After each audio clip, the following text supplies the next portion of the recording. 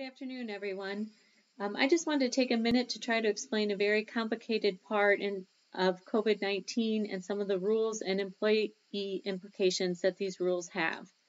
The rule I want to talk about is EPSLA, and that's Emergency Paid Sick Leave Act. As many of you know, the Emergency Paid Sick Leave Act is an act that allows for full-time employees to get two weeks of paid sick leave or up to 80 hours. Um, an employee qualifies for EPSLA if they are subject to a quarantine or isolation order or experiencing symptoms of COVID-19, or they are seeking a COVID-19 medical di diagnosis or have been ordered to self-quarantine.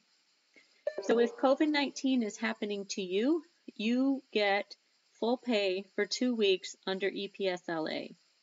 A very fine line of this law is that if you are caring for someone else who has COVID, you also qualify for EPSLA up to two weeks or 80 hours of EPSLA.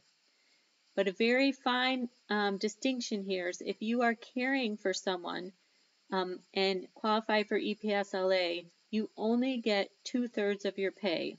So let me repeat that. If COVID is happening to you, you qualify for EPSLA and you get 100% of your pay. If you are caring for someone else, a son or daughter um, that has um, COVID or has been quarantined, you only get two thirds of your pay. Let me take a scenario that could happen in our organization. So let's say we have a person who lives in Bronson and their children go to school in Bronson schools. Bronson schools are offering five days of face-to-face -face instruction. They are also offering a remote option.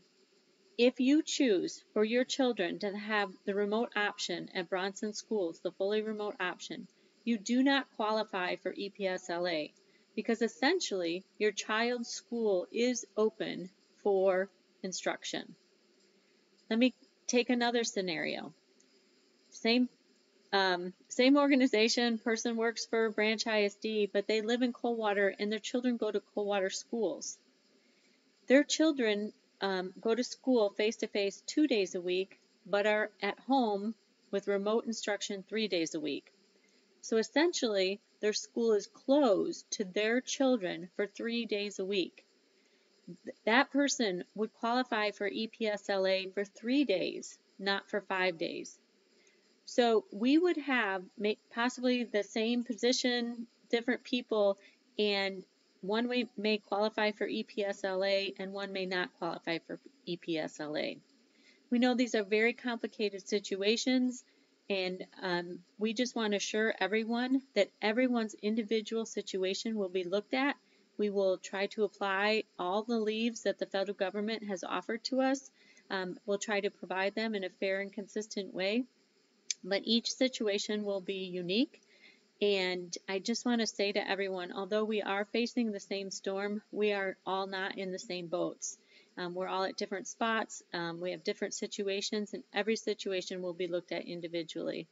So thank you for your time. If you have any questions or want more clarification about EPSLA, um, please let me know, and I will try to investigate the questions. Thank you. Have a great day.